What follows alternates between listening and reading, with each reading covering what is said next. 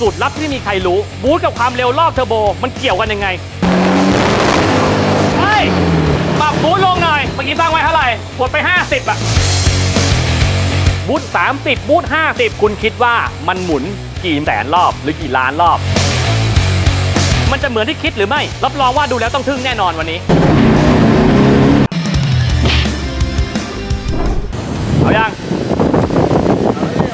EP นี้ งงว่ามันคืออะไรต้นเหตุนะ มาจากไดเป่าผมตัวนี้แรงว่ะฟังเสียง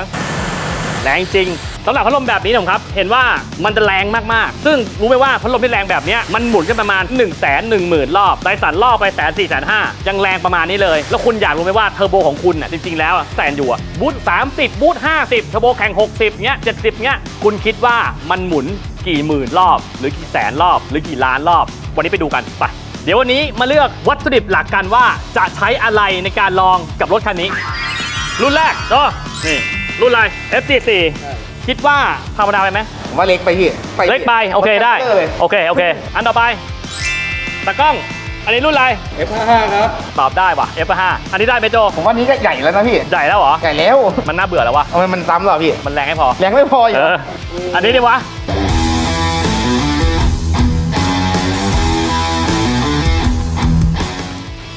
นี่อะไรวะเนี่ยเป็นไงโหดป่ะโหดป่ะวันนี้เราจะมาลองด้วยเทอร์โบ F66 มาลองดูกันว่ามันจะใช้รอบเท่าไหร่ในการปั่นบูท30 หรือ boost 50 หรือ boost 60 วันนี้ทุกคนจะได้รู้ว่าเทอร์โบของคุณจริง ๆ แล้ว มันทำ boost เนี่ย30 50 เนี่ยใช้รอบที่เท่าไหร่ รอบหลักหมื่นหรือหลักแสนหรือหลักล้าน มาลองดูกัน จะใช้เทอร์โบ F66 ผมครับ ฝังเซนเซอร์ลงไปนะ นี่เซนเซอร์ลงไปตรงนี้ เซนเซอร์ตัวนี้เป็นตัวจับ speed ความเร็วของใบเทอร์โบครับ ซึ่งตัวนี้ทำงานยังไงทำงานที่ว่าเป็นเซนเซอร์จับความเร็ว แต่ว่าเวลาคุณใช้งานเนี่ย คุณต้องตั้งมัน ข้างหลังเกจเนี่ยมีการตั้งไว้ว่าใบนี่กี่ใบ6ใบ12 ใบ 9 ใบ 7 ใบคุณตั้งให้ถูกก่อน แล้วมันจะจับความเร็วของใบ เพื่อเป็นการวัดว่าเทอร์โบเนี่ยหมุนที่ความเร็วเท่าไหร่ครับ เข้ากล่องประมวลผลแล้วออกไปที่หน้าเกตหรือว่าเข้าที่ไดโนก็ได้นะครับแต่วันนี้ให้เพื่อความง่ายในการวัดจะออกไปที่เกตวัดให้ดูทุกคนดูง่ายเพราะว่าผมคิดว่าเกตวัดเนี่ยเป็นสิ่งที่ทุกคนดูเป็นกันอยู่แล้วมันง่ายกว่าดูในกราฟโอเคปะเดี๋ยวรอบแรกจะทดสอบดีว่าบุ๊ประมาณสัก 20 เนี่ยเทอร์โบใช้รอบหมุนประมาณเท่าไหร่ไปดูกันโอเค เดี๋ยวรอบแรกเราจะลองที่บูทประมาณ 20 ปอนด์นะดูเป็นไงนอกจากนะอันนี้คือความเร็วรอบนะครับ อันนี้คือ 20,000นะเลขต่อนี่คือ20,000 40,000 1แสน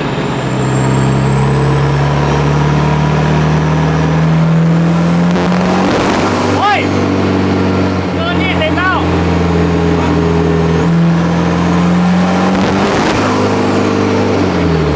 โยโย่ปรับบูทลงหน่อยเยอะเกินเมื่อกี้ตั้งไว้เท่าไหร่สามสิบ30กดไป50อะแล้วมันแรงเกินปต้ารับลงอีกดิ ลงแล้วครับจะสุดแล้วครับ สุดแล้วเหรอ สุดแล้วครับ โอเค มาดูกัน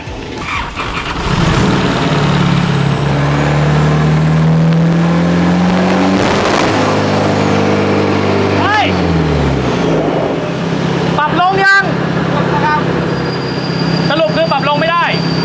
งั้นเดี๋ยว จะลองแค่แตะๆเลี้ยงรอบดูว่ามันขึ้นเท่าไหร่ตอนนี้ปรับเวกเกตออกหมดแล้วมันไม่ลงบูทโอเคป่ะงั้นเดี๋ยวเราลองแค่เลี้ยงแตะๆพอแล้วดูว่าที่บูท20เนี่ยรอบประมาณสัก3,000อะเทอร์โบหมุนจะกี่รอบดูนะโอเค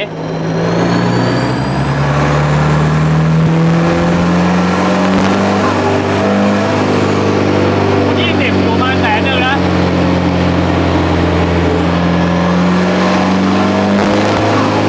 ประมาณแสนหนึ่ง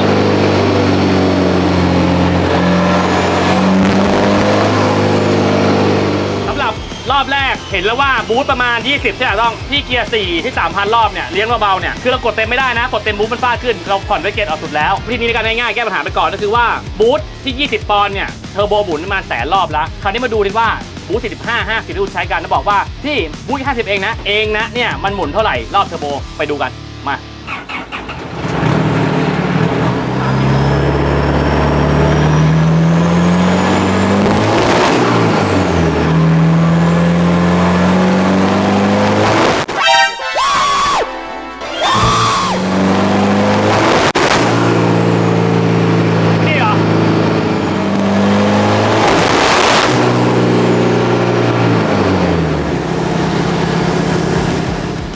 เค มาสรุปกัน เมื่อกี้เห็นแล้วว่า boost ประมาณ 20 เนี่ย อยู่มาสักแสนรอบถูกไหมคือเราไม่สามารถกด ก็กวาดป้าดอย่างนี้ให้ที่20ได้เพราะว่าเราปรับ wastegate ลงเยอะแล้ว แต่ว่าบูก็ยังขึ้นทะลักอยู่ คราวนี้ก็เลยกดเลี้ยงรอบเบาๆที่ boost 20เนี่ยจะอยู่ประมาณสัก8 0 0 0 0ถึงแสนรอบ แต่พอเราต้องการ boost เต็มที่ 50เนี่ยกดปั้งลงไปเนี่ยเห็นว่าเกจอะมันฟาดไปถึงแสนแปดอันนี้มันวัดได้แค่แสนแปดเนี่ยมันเต็มที่แล้วแล้วเรากดแค่แป๊บเดียวด้วยไงไม่ได้กดเยอะกดเยอะผมบอกเลยว่ามันทะลุเกินแสนแปดไปสองแสนกว่าแน่นอนดังนั้นการที่คุณ boost 50 อย่างเงี้ยผมบอกเลยว่ารอบเทอร์โบอะ2แสนแน่นอนนะครับดังนั้นการที่ใช้ boost เทอร์โบผมบอกว่า boost แค่50 เอง มันไม่ใช่เองนะปกติเทอร์โบใช้กันน่ะรถทั่วไปอะรอบอยู่แค่ประมาณแสนสองเท่านั้นนะแสนสองแสนสี่แค่นั้นเต็มที่นี่คือรอบไป2 0 0แสนอย่างเงี้ยอันนี้คือรอบไปใช้กับเทอร์โบแข่งหรือว่าเทอร์โบที่เป็นหลังถนน boost 50 ขึ้นไปผมบอกเลยว่ารอบเกิน 2 0 0แสนแน่นอนครับดังนั้นการเลือกใช้เทอร์โบเลือกขนาดของเทอร์โบเล็กหรือใหญ่ใบขนาดเท่าไหนมีผล ยิ่งใบใหญ่ รอบเทอร์โบยิ่งน้อยลง มันก็พังช้าขึ้น คุณใช้เทอร์โบเล็กๆ มันยิ่งทำให้เทอร์โบพังเร็วขึ้นเพราะว่าใช้รอบสูงในการปั่นให้ลมได้เท่าเดิมฝากไว้ด้วย